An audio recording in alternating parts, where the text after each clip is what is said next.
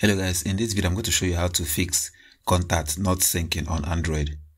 To fix this issue, go to your settings, scroll down and look for accounts. Click the Google account you're having issues with your contact sync.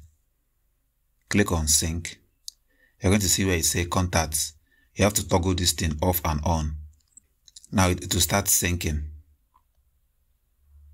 Or you can click on sync now to sync everything at once.